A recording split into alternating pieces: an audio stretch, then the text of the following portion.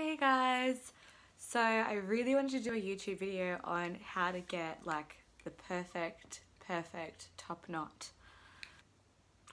Some can look like the poo emoji, some can look like soft serves from McDonald's, um, other ones can actually, they genuinely, don't judge me because I do have a filthy mind, ball sacks. They can look like testicles on the head.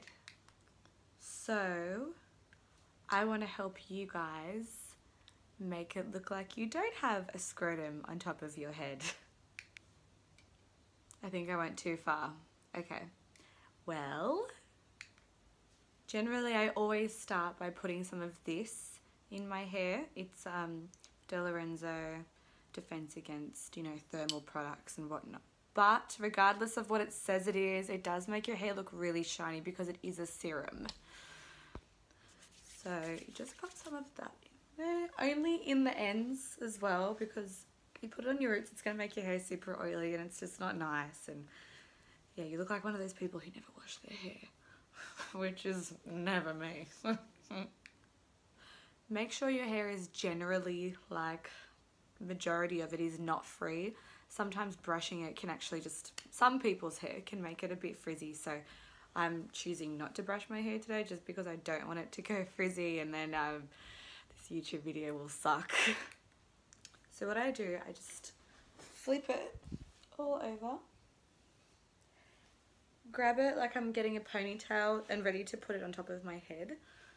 Um, so I kind of just take it there and then start twisting my ponytail and then it's kind of like that. I'll move this so you guys can see. And then just roll it around. And clearly that doesn't look good, but I will get there. So while I look like Alfalfa's girlfriend, have a hair tie, kind of just hold it down and then just put the hair tie over the top twice and um, yeah, if you do have little bits sticking out, you can kind of just pin them down with um, bow pins if you like. Um, this still looks kind of shitty, so grab this. It's a spoolie for your eyelashes. Um, there's clearly more than one use for a spoolie.